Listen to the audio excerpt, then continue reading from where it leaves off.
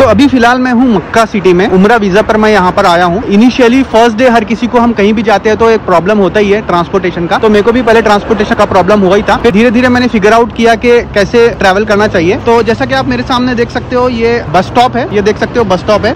यहाँ पर Saudi government की तरफ़ से फ्री बस सर्विस प्रोवाइड की गई है। तो आप फ्रीली पूरे सिटी में कहीं भी घूम सकते हो। आप देख सकते हो पूरा मैप दिया हुआ है यहाँ पर। लेकिन ये मैप थोड़ा अरबी में है तो ये मेरे को समझ में नहीं आ रहा है। ये देखिए, आप देख सकते हो, छह नंबर की बस जैसे सामने से आ रही है तो ये हरम से आ रही है और ये अजीजिया नाम का जो एरिया है, वहाँ जा रही है। तो आपको ऐसे ही फिगर आउट करना पड़ेगा कि कौन से नंबर की बस आपके एरिया से, आपके होटल के एरिया से आपको ले जाएगी। और आप यहाँ देख सकते हो जो टैक्सी वो जो ड्राइवर है, अभी उसको रिपेयर कर रहा है, लेकिन जो टैक्सी दिख रही है, मैं आपको क्लोज बता देता हूँ, ये ऐसी टैक्सी दिखेगी, इस पर ऐसे लिखा हुआ रहेगा।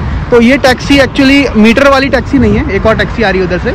तो ये टैक्सी, मीटर वाली टैक्सी नहीं है। तो वो जो बस दिख रही है सामने, अभी जो मेरे को हरम जाना है तो वो वाली जो बस दिख रही है सामने, वो बस मैं पकड़ के जाने वाला हूँ। तो ये ब्रिज का यूज़ करके मैं वो साइड अभी जाऊँगा और वहाँ से मैं बस पकड़ूँगा हरम के लिए। बस स्टॉप का नाम यहाँ पर लिखा हुआ रहता है। कौन से बस स्टॉप पे आप खड़े हो? इनिशियली आपको पहले पूछना पड़ेगा किसी से। कि आपकी कौन से नंबर की बस है जो आप हरम लेके जाएगी और वहाँ से आपको आपके स्टेशन पर आप ले जाएगी।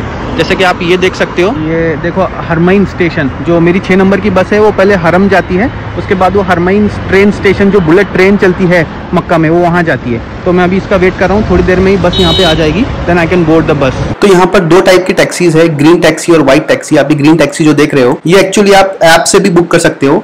करीम नाम का एक ऐप है जिससे आप ये बुक कर सकते हो। तो थोड़ा वेट करने के बाद ये बस आ गई है। यहाँ आपको ज़्यादा वेट नहीं करना पड़ता है। बहुत जल्दी जल्दी 15-20 मिनट के अंदर बस आपको मिल जाएगी। बहुत बढ़िया बस है। एसी बस रहती है ये। दो हिस्सों में डिवाइड रहती है।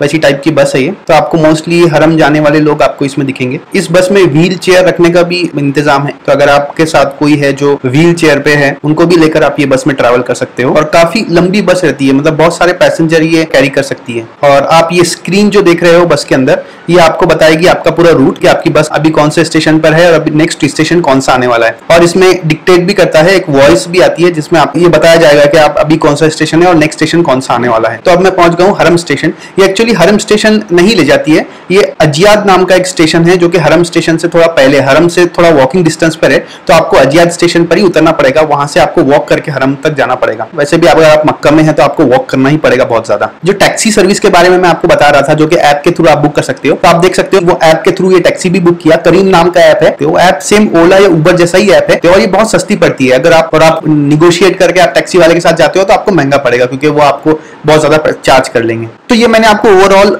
लोकल ट्रांसपोर्टेशन के बारे में बताया, जो कि मक्का सिटी में आप कैसे घूम सकते हो फ्रीली ये बस के थ्रू और अगर आप टैक्सी लेना चाहते हो तो आप ऐप के थ्रू वो टैक्सी कर सकते हो। तो अगर ये वीडियो आपको पसंद आया तो मेरे चैनल को सब्सक्राइब कर देना एंड थैंक्स फॉर वॉचिंग